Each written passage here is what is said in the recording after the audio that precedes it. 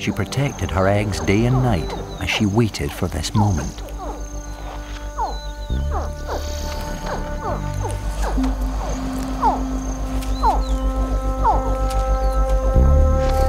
Now, she meets her babies for the first time.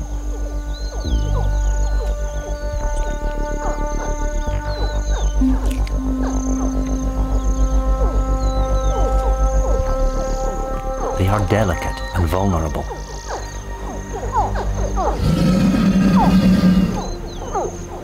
But they are not safe here. She must get them to water. Her solution is extraordinary.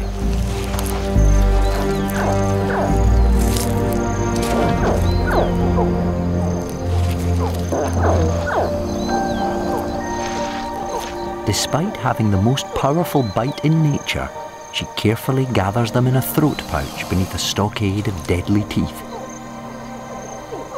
She is as gentle as a croc could ever be.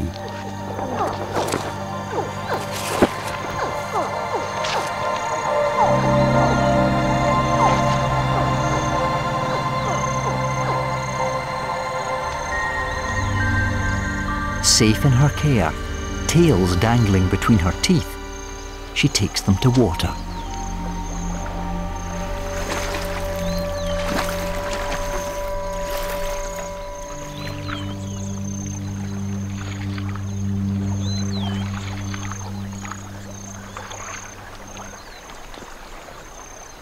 She won't enjoy her baby's company for long.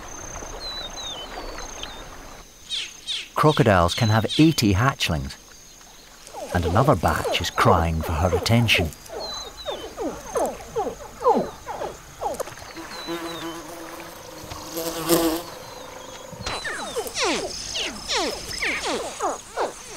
She won't leave any behind,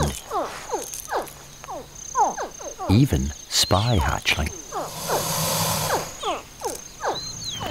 Oh.